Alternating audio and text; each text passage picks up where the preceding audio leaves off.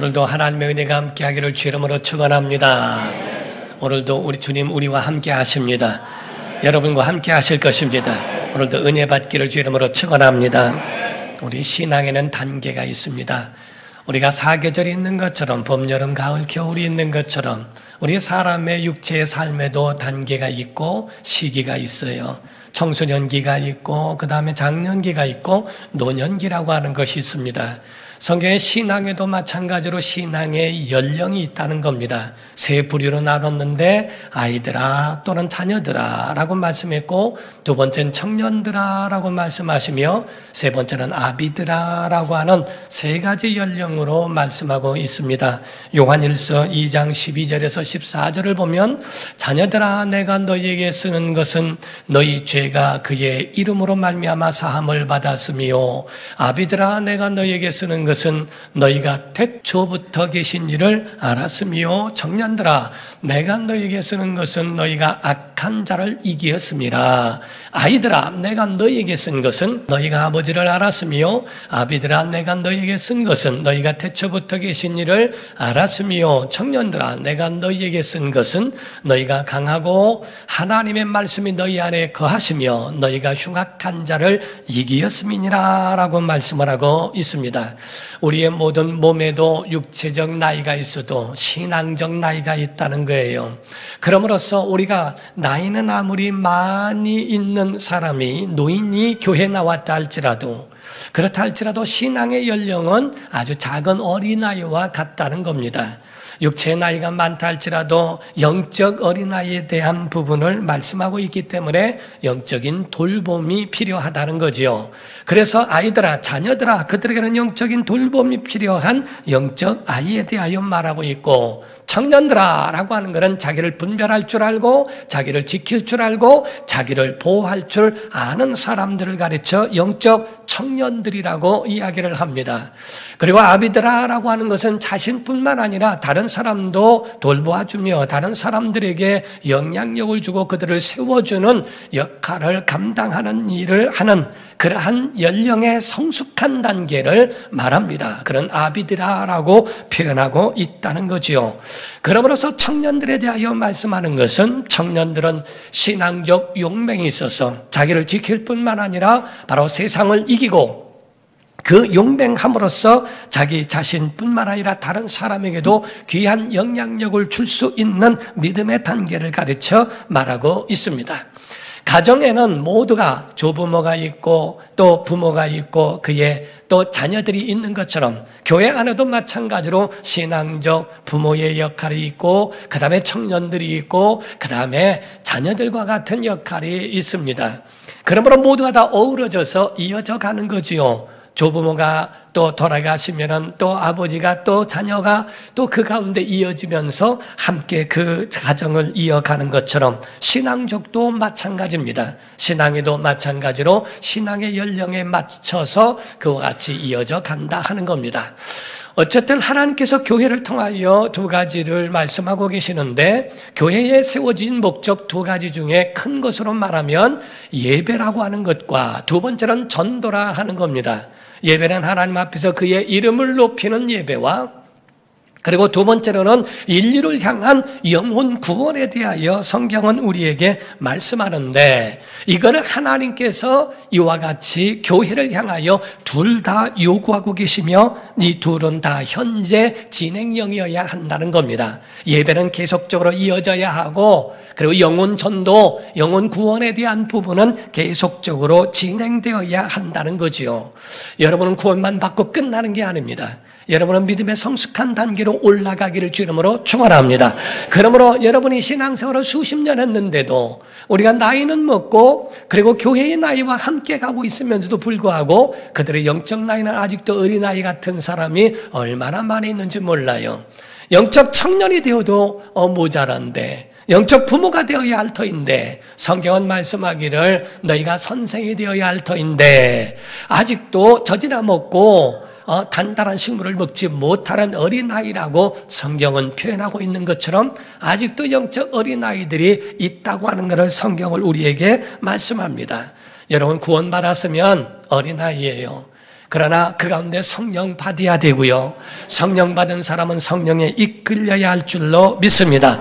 그러므로 예수님은 그의 제자들과 무리들, 그 무리들은 교회를 뜻하는데 그들에게 산상수훈으로 보배로운 가르침을 그들에게 주셨습니다.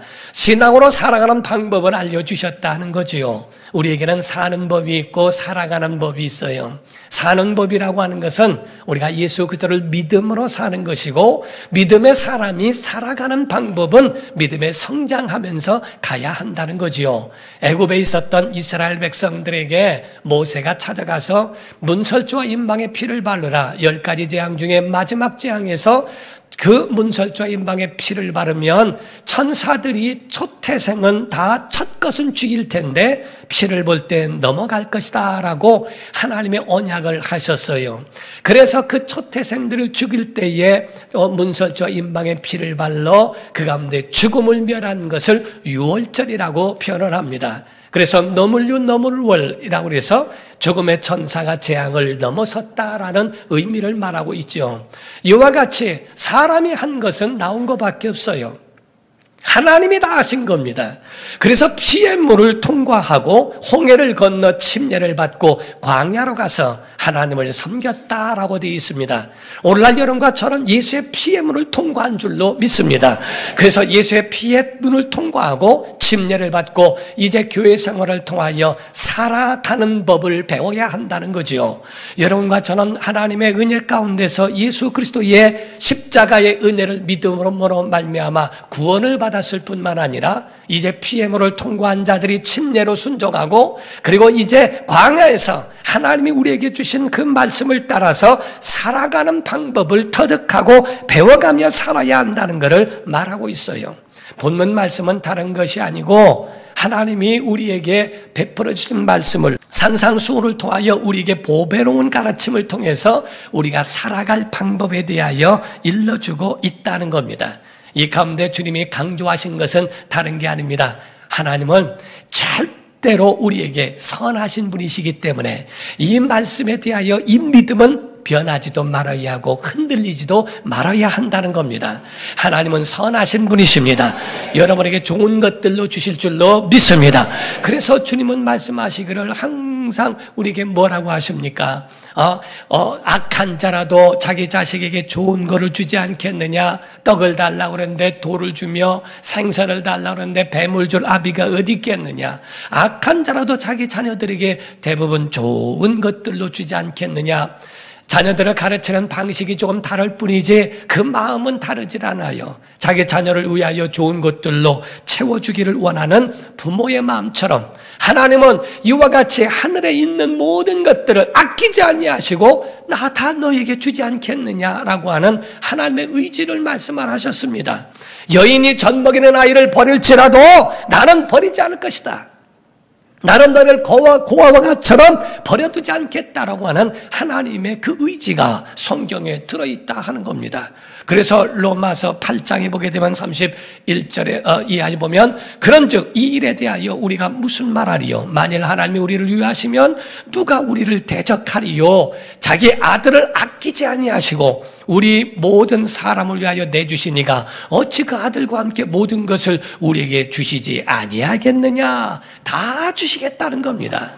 28절에는 말씀을 합니다. 우리가 알거니와 하나님을 사랑하는 자 곧 그의 뜻대로 부르심을 입은 자들에게는 모든 것이 합력하여 선을 이루느니라 라고 말씀했죠. 이 말씀은 하나님 모든 것을 합력하여 선을 이룰 수 있도록 그와 같이 잡아주시고 유도하시고 이끌어주시고 인도하시겠다고 하는 하나님의 약속이에요. 여러분과 저는 흔들리지 말아야 됩니다. 하나님 선하신 분이십니다. 믿는 자들의 고난과 어려움은 저주가 아니라 연단이요. 그걸 거친 후에는 하나님의 은혜가 복이 여러분에게 기다릴 줄로 믿습니다. 예수님은 오늘 본문 말씀에도 계속적으로 비유로 말씀하셨어요. 세 가지 비유가 나옵니다. 그 가운데에 공중 나는 새를 보라. 두 번째로는 들에 핀 백합화를 보라. 세 번째로는 또 그 가운데에 들풀도라는 말씀을 하셨어요. 누가복음에는 공중 나는 새에 대하여 말씀하기를 까마귀라고 표현을 하고 있습니다. 마태복음 6장 26절에 보면 공중의 새를 보라 심지도 않고 거두지도 않고 창고에 모아들이지도 아니하되 너희 하늘 아버지께서 기르시나니 너희는 이것들보다 귀하지 아니하냐라고 말씀을 하시죠. 그 후에 30절에 이어서 말씀합니다. 오늘 있다가 내일 아궁이에 던져지는 들풀도 그 들풀을 태우기도 하고 하니까 그 들풀도 하나님이 이렇게 입히시거든. 하물며 너일 까 보냐? 믿음이 작은 자들아 라고 말씀하셨어요. 믿음을 갖고 있으면서도 조금만 어려우면 하나님 있네 없네 또 그 가운데 하나님이 나를 버렸네 안 버렸네 그것 가지고 하나님을 의심하고 그 마음에 흔들리는 믿음이 작은 자들아 라고 주님은 우리에게 책망하시는 겁니다. 까마귀 하면은 어떤 나라에서는 그게 길조라고도 합니다. 그러나 한국에서는 흉조로 보고 있어요. 그런 까마귀 같은 정이 가지 않는 새와 그리고 하찮게 볼 수 있는 꽃과 들풀일지라도 하나님께서 다 먹이시고 입히시거늘 하물며 너일까 보냐라고 말씀하신 거예요. 왜 불신자처럼 왜 이방인처럼 왜 고아 같이 자기 자신을 그렇게 여기는가? 내가 너의 아버지가 되고 내가 너희를 지킨다고 하는 그 언약이 있는데도 왜 하나님에 대하여 의심하고 있는가? 성경은 말씀합니다. 요한복음 14장 16절 이하에 말씀을 합니다. 내가 아버지께 구하겠으니 그가 또 다른 보혜사 성령을 말합니다.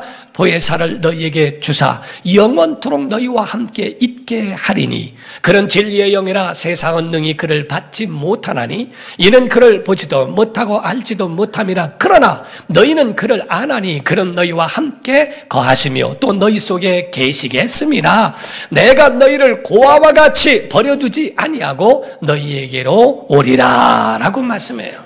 아멘 해봅시다. 여러분, 여러분 우리는 고아가 아닙니다. 하나님의 자녀입니다. 그리스도의 신부가 됩니다. 성령의 전인 줄로 믿습니다. 이와 같이 우리는 고아가 아니라 하나님의 자녀요, 그리스도의 신부요, 성령의 천이라고 말씀을 했어요. 그러므로 우리가 어떻게 살아가야 하는가에 대하여 말씀을 합니다. 첫 번째로 말씀하고 있는 것은 먼저 그 나라와 의를 구하라는 겁니다. 마태복음 6장 33절 다 같이 읽겠습니다. 그런즉 너희는 먼저 그의 나라와 그의 의를 구하라. 그리하면 너희에게 더 하시리라. 아멘. 세상 것들을 구하지 말라 하심이 아닙니다. 오늘날 우리에게 일용할 양식을 주옵시고라고 구하라는 거지요. 너희가 내 안에 거하면 무엇이든지 원하는 대로 구하라. 뭐 영계나 물질계나 인간계나 다 구하라는 거지요. 그러나 우리에게 말씀하는 거 기도할 때에 내 육체를 위해서 구하지 말라는 말씀이 아니라 세상 것보다 먼저 구할 것이 있다. 하나님을 먼저 구해라. 그의 나라를 구해라. 그의 의를 구하고 그의 뜻을 먼저 구하라고 말씀하는 겁니다. 이 세상은 시한적인 거기 때문에 아무리 잘 돼도 사라지고 없어져 가는 거예요. 그러나 우리는 영적인 것이 있기 때문에 하나님 우리의 영혼을 위하여 영혼이 과연 만족하고 있느냐 하는 겁니다. 영혼을 먼저 구하면 내 가정의 영적 가족을 위하여 먼저 구하면 너 육의 가정도 하나님이 지키실 것이고 하나님의 뜻을 구하면 하나님 앞에 구하지 아니한 이 모든 것들을 너희에게 더하게 하시겠다고 하는 하나님의 말씀이지요. 없게 하시겠다는 것이 아닙니다. 본보기로 솔로몬에게는 하나님 말씀하셨어요. 솔로몬이 먼저 왕의 자리에 오르게 되니까 하는 말이 하나님 앞에 일천 번제를 드리게 됩니다. 오늘날 우리도 일천 번제 드리는 것도 하나님께서 응답에 대한 간증이 굉장히 많습니다. 여기서 1천 번제를 드렸던 솔로몬이 하나님 앞에 드리니까 하나님께서 그에 대하여 감동을 하셨어요. 나타나셔서 그래 내가 너에게 무엇을 하여 주랴 라고 물으시니까 그 가운데 다른 자기의 것을 구하지 아니하고 나는 어린아이이기 때문에 출입할 줄 모릅니다. 어떻게 이 많은 백성을 그들을 다스릴 수 있습니까? 나에게 지혜를 달라고 구하니까 하나님이 너무나 기뻐하셨어요. 그래서 성경 말씀하기를 열왕기상 3장 4절에서 5절을 보면 이에 왕이 제사하러 기본으로 가니 거기는 산당이 큼이라 솔로몬이 그 제단에 일천 번제를 드렸더니 기본에서 밤에 여호와께서 솔로몬의 꿈에 나타나시니라 하나님이 이르시되 내가 내게 무엇을 줄고 너는 구하라라고 물으셨어요. 그때 나에게 지혜를 달라고 구하니까 하나님이 기뻐하십니다. 12절과 13절입니다. 내가 내 말대로 하여 내게 지혜롭고 총명한 마음을 주노니 우리가요 지혜롭고 총명한 것은 하나님이 주신 겁니다. 내가 타고날 때 내 머리가 아니고 하나님이 지혜를 주셨다는 거지요. 청명한 마음을 주노니 내 앞에도 너와 같은 자가 없거니와 내 뒤에도 너와 같은 자가 일어남이 없으리라.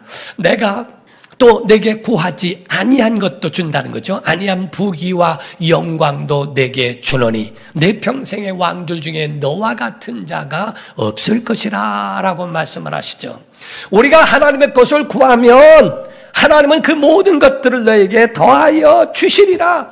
하나님의 뜻대로 솔로몬이 구했더니 구하지 않은 것까지 하나님이 주시더라. 라고 하는 겁니다. 사랑하는 성도 여러분, 여러분 영적인 걸 먼저 구하세요. 영적 가족을 구하세요. 여러분 그걸 구하면 하나님이 그 모든 것들을 채워주시지만은 육의 것들을 목적으로 삼고 기도하면 하나님이 거기에 대하여 마음이 합하지 않은 것으로 보고 계시다 하는 거예요. 먼저 하나님의 나라와 의를 구하기를 예수 이름으로 축원합니다. 두 번째로는 내일 일을 어, 염려하지 말라는 겁니다. 염려하지 말래요. 오늘날 마태복음 6장 34절에 뭐랍니까? 그러므로 시작.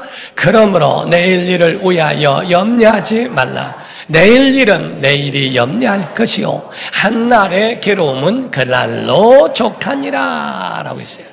내일 염려를 지금 끌어다가 염려하지 마라. 사람의 행복을 갉아먹는 두 벌레가 있답니다. 하나는 과거에 매이는 것, 과거를 후회하는 것. 아유, 좀 더 잘할 걸, 잘했을 걸, 뭐 할 걸, 옛날이었으면 어쩌고, 좋은 것도 나쁜 것도 너무 오래 매여 있으면 행복이 갉아먹어지는 벌레에게 다 빼앗긴다는 거지요. 좋은 일이 아무리 많았다 할지라도, 아, 옛날 같았으면 지금 현실은 다른데 옛날 얘기해봐야 아무런 소용도 없다는 겁니다. 그 뒤에 것은 다 지나간 거니까 하나님께 맡겨두고 난 표대 향하여 달려간다라고 했던 것처럼 우리는 이에 대하여 과거에 매이지 말아야 하고 두 번째 벌레는 미래에 대한 아직 이루어지지도 아니한 것에 대한 미리 염려하지 말라는 거예요. 우리가 가지고 있는 우리가 미리 95에서 98%가요 설문조사라고 다 해보니까 사람의 머릿속에 가지고 있는 염려의 95에서 8%가 일어나지도 않을 일들을 미리 염려하고 있다는 겁니다. 아주 내일 거 그냥 미리 끌어다가 염려하고요. 내일 거가 뭡니까? 10년 뒤 거를 끌어다가 지금 염려합니다. 어. 그러므로 주님은 말씀하는 겁니다. 오늘 내가 잠잘 때는 한날의 괴로움은 그날이 족하니까 잠잘 때는 다 모든 불을 꺼! 내 마음속에 켜있는 거 오만 가지 생각들로 각 방마다 켜있는 불을 꺼라! 하는 말씀이야. 그리고 평안하라. 교회에 오는 사람 평안한 거는요, 교회 오면 자는 이유가 거기라고 그러잖아요. 교회 오면 말씀 듣다 자는 게 평안하기 때문에 잔다고 그럽니다. 그러하듯이 어쨌든 주님 앞에 나오면은 모든 것 여러분 보십시오. 2차 어, 세계 대전 가운데도 마찬가지로요. 전사한 사람들이 30만 명이라면은 염려로 미리 죽은 사람들이 200만 명이라는 겁니다. 옛날에 망나니들이 칼을 들어서 사람의 목을 치려고 막 앞에서 춤춥니다. 춤춰가지고서 목을 그 역사에 보면은요 춤출 때 미리 죽는데요. 심장마비로 먼저 죽는다는 겁니다. 저 칼이 언제 내려올지 모르고 하기 전에 이미 다 기절해 죽어버렸다는 거예요. 80% 심장 약한 사람들은 미리 죽는 것처럼 염려와 근심과 불안에 떨고 있기 때문에 그런 것들이 염려가 우리의 마음을 상하게 하고 우리의 신앙을 쪼개고 행복을 쪼개고 기쁨과 건강과 영성을 다 쪼개버린다는 겁니다. 사람 몸속에는 NK라는 게 있대요. natural killer라는 게 있대요. 그게 생성이 되면 그 안에 있는 암세포를 죽여낸다는 겁니다. 그 속에서 막 그걸 죽일 수 있는 면역력이 생기는 게 NK인데 염려는 이 NK를 무력화시키고 면역력을 잃어버리게 만든다는 겁니다. NK는 언제 우리 속에서 무력화되느냐? 염려할 때, 근심할 때. 그러나 우리 속에서 언제 생성되고 힘을 얻느냐? 기뻐하고 행복할 때. 예수 믿는 사람들은요, 찬양하지요. 예배 가운데 기쁨이 있죠. 평안이 있죠. 은혜가 있죠. 작은 것에 은혜가 있어요. 오늘날 한국 사람은 너무 간증이나 이런 것들도요, 너무 심각하게 살아요. 그래서 간증도 뭐 조그만 건 간증도 아니요. 그냥 막 눈이 빠졌다 들어가야 되고, 다리가 그냥 부러졌다 다시 붙어야만 간증을 하지, 실제로 그 속에 하루하루가 기적이고 하루하루가 은혜인데 말이에요. 작은 것에 기쁨이 있을 수 있어야 한다는 거예요. 그래야 암세포도 죽일 수 있고 엄청난 역사가 일어나는데 작은 것은 웃지도 아니요. 그냥 아주 심각해서 그냥, 그냥 누가 뭐래요. 그러니까 누가 마술에서 뭐는 저거 마술 저거 어떻게 되는가 아주 사기당한 느낌이라. 다 찾아내려고 그러고 이렇게 심각하게 살으니까 작은 것에 은혜가 없어요. 그러면은 그 속에 있는 암세포를 죽이는 NK가 무력화된다는 겁니다. 작은 것에 웃을 줄 알고 남이 적은 것도 막 기뻐해 줄 줄 알고 함께 기뻐해 주는 것이 얼마나 건강한지 몰라요. 좋은 세상 만들기라고 하는 그 프로그램이나 이런 데서 할아버지 할머니들이 퀴즈쇼 하는 게 너무 재밌었을 때가 있어요. 주차 금지라고 하는 것이 정답입니다. 할머니가 할아버지한테 얘기합니다. 차를 대, 대지 말라고 하는 네 글자가 뭐지? 정답은 주차 금지예요. 근데 거기서 할아버지가 대지 마라 이렇게 얘기했어요. 아니 그 말이 아니고 그랬더니 딴 데 대라 이렇게 네 글자. 아유 맞는 말이긴 한데 정답은 아니에요 이게. 거기는 사람들이 같이 웃으면서 같이 즐거워합니다. 작은 것들에 하나도 같이 기뻐하고 같이 즐거워하면서 살아간다는 것이 중요해요. 여러분 염려 예수 믿는 사람들은 괜히 어, 그 가운데 문제를 만들 필요는 없지만 문제가 온다 할지라도 두려워하지 않기를 주 이름으로 축원합니다.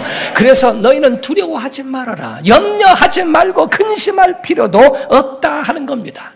하늘을 사모하는 사람들 여러분 세상 끝들로 사는 게 아니요. 그건 벌써 패턴이 달라요. 하늘의 사람들은 땅의 것들 어떤 것이 가치가 있고 어떤 것이 가치가 없는 줄을 구분할 줄 아는 사람이라 하는 거죠. 여러분 돈으로 다 삽니까? 돈으로 살 수 없는 것이 있다고 합니다. 돈으로 집은 좋은 집은 살 수 있어도 가정은 살 수 없습니다. 돈으로 좋은 침대는 사도 잠은 살 수가 없고요. 돈으로 좋은 시계는 살 수 있어도 세월은 살 수가 없고 돈으로 약은 살 수 있어도 건강은 살 수가 없습니다. 돈으로 유흥은 살 수 있어도 행복은 살 수 없으며 돈으로 책은 사도 지식은 살 수 없고 돈으로 장례식은 어마어마하게 화려하게 치를 수 있어도 돈으로 천국은 살 수 없다는 거죠. 사랑하는 성도 여러분, 여러분과 저는 돈으로 살 수 없는 하나님이 주신 은혜가 있기를 주름으로 축원합니다. 요한복음 14장 27절에 말씀합니다. 예수님 말씀하기를 평안을 너에게 끼쳐노니 곧 나의 평안을 너에게 주노라. 주님의 평안을 얻기를 예수님으로 축원합니다. 내가 너에게 주는 것은 세상이 주는 것과 같지 아니하니라. 너희는 마음에 근심하지도 말고 두려워하지도 말라라고 주님 말씀해요. 예수 안에 오면 주님이 주시는 그 평안, 주님이 주시는 그러한 생명이 그 영혼에 있다는 거예요. 우리 주 안에 있기를 예수 이름으로 축원합니다. 세 번째로 말씀하는 주의 말씀은 다른 게 아닙니다. 미래에 대한 소망을 놓지 마라 하는 얘기입니다. 첫 번째로는 먼저 그 나라와 의를 구하라. 두 번째로는 내일 일을 내일 염려하지 마라. 세 번째로는 내일 일은 내일 염려할 것이다. 내일에 대하여 똑같다고 착각하지 마라. 내일 주님이 거기도 계실 테니까 오늘 괴롭다고 끝났다고 생각하지 마라. 하나님은 내일 다른 역사를 일으키실 수 있고 하나님은 내일을 우리에게 주셨다라고 말씀하는 겁니다. 사랑하는 성도 여러분, 우리가 가지고 있는 이 미래에 대한 희망을 왜 놔버리냐는 겁니다. 끝까지 인내하고 소망을 놓지 말고 끝까지 믿음으로 극복하기를 예수 이름으로 축원합니다. 힘들고 어려울 때에 사람들은 끝이라 생각하고 있기 때문에 자기 목숨도 버리는 거예요. 끝이라고 생각하니까 타락의 길로 가고 흥청망청 방관자의 생활, 방탕자의 삶을 살아가는 겁니다. 성경 주님이 우리에게 말씀하는 것은 내일 일을 염려하지 말아라. 왜? 내일은 오늘 같지 않을 수 있으니까. 오늘 너 괴롭지, 내일은 내일도 똑같이 괴롭다라고 착각하지 마라. 내일을 주신 하나님이 너와 함께 하시리라 하는 겁니다. 모든 차원 낮은 것은 높은 차원의 지배를 받게 돼 있어요. 여러분과 저는요, 정말 차원이 이 땅 위에 있는 차원이 아닙니다. 하늘의 고차원적인 차원이요. 하나님이 주신 하늘의 은혜로 살아가는 여러분과 제가 될 때 영혼이 살아나고 육체가 살고 환경이 살 줄로 믿습니다. 요한 3서 2절에 말씀하기를 사랑하는 자여 내 영혼이 잘 된 것처럼 잘됨 같이 내가 범사에 잘되고 강건하기를 내가 간구하노라 라고 되어 있어요. 여러분의 영혼이 잘 되면 육체도 잘 되고 건강하고 그리고 환경도 잘 될 줄로 믿습니다. 아담과 하와가 죄를 범하니까 땅도 저주를 받아버렸어요. 땅에 문제가 있는 게 아니라 아담과 하와가 죄를 범한 것 때문에 하나님과 끊어져서 그렇습니다. 땅이 저주를 받은 것은 바로 이와 같은 땅의 문제가 아니라 수도꼭지에 물이 안 나오는 것은 수도꼭지 물이 아니라 그 속에서 올라오는 물의 줄기에서 문제가 있는 거예요. 우리가 똑같이 하나님과 교통하라. 하나님과 이어지어만이 하나님과 끊어지면 결단코 세상 것들도 끊어질 수 있습니다. 하나님과 이어지면 하나님과 교통하면 하나님의 은혜를 어, 여러분이 소유할 수 있습니다.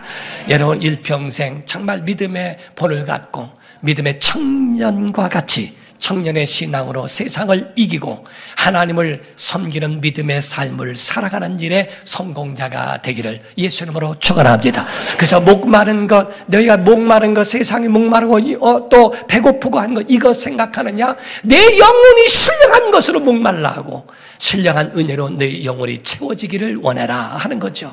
오늘도 예배 가운데 주의 은혜가 흘러가기를 예수 이름으로 축원합니다. 기도하겠습니다. 다 같이 통성으로 기도할 때 하나님 아버지 우리 평생의 믿음으로 살아가게 하시고 그 은혜로 살아가는 믿음의 사람들이 되도록 우리 안에 청년의 신학을 주옵소서. 믿음의 열매가 있도록 도와달라고 세상을 이기게 해달라고 영혼이 잘되게 해달라고 먼저 큰 나라와 의를 구하고 내일 일을 염려하지 말고 오직 주님을 향하여 가는 믿음의 사람 되도록 우리에게 심한 능력 달라고 다 같이 통서로 기도하시겠습니다.